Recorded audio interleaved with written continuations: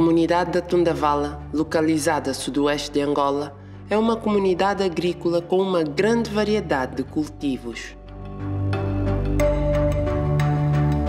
Porém, um destes produtos é muito especial. Não se come e nem requer que se trabalhe a terra. Na verdade, este cultivo é feito pela natureza e a única coisa que há a fazer é simplesmente não o destruir.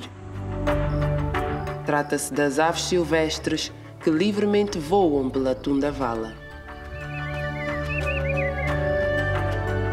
Este território foi abençoado com uma variedade de ecossistemas e são o habitat de muitas aves de distribuição restrita.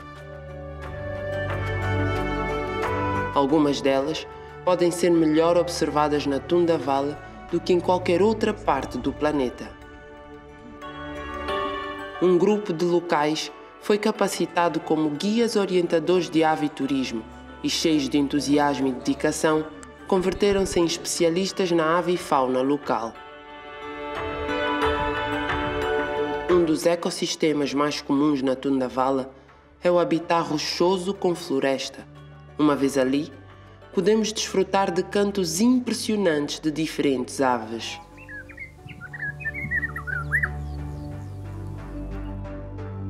Dois deles são o Rock Runner, uma ave de distribuição restrita, e o Angola Cave Chat, um pássaro quase endêmico de Angola que pode ser observado na Tunda Vala melhor do que em qualquer outro lugar. Junto ao aglomerado de flores, podemos encontrar várias espécies de sunbirds em busca de néctar. Dentre eles, dois são de distribuição restrita: o Austerlet Sunbird e o Mountain Double Colored Sunbird.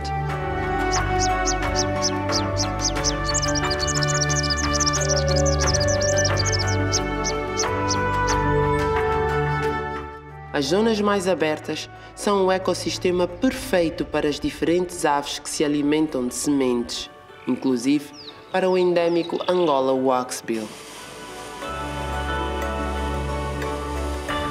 As florestas ribeirinhas da zona da Tundavala contêm também inúmeras aves interessantes, como a endêmica Angola Slaty Flycatcher e outros de distribuição restrita como o Grey Apelis e o Bocages Acalat. Entre tantas aves, é difícil eleger uma estrela. Contudo, talvez possamos falar do White-Bellied Barbet.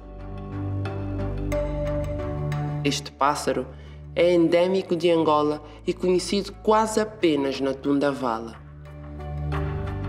Todavia, durante 40 longos anos, esta ave deixou de ser vista na zona e muitos pensaram que estivesse extinta. Até ser redescoberta em 2017. Os guias locais da Tundavala encontraram os dois primeiros ninhos conhecidos desta espécie e conseguiram identificar três territórios. Agora, os avituristas podem aumentar as suas possibilidades de observar esta espécie rara. Os guias trabalharam em conjunto com a comunidade para aumentar a consciência e proteger o White-Bellied Barbet, as demais aves e os seus habitats. Até a data, mais de 140 espécies de aves foram registadas na Tunda Vala.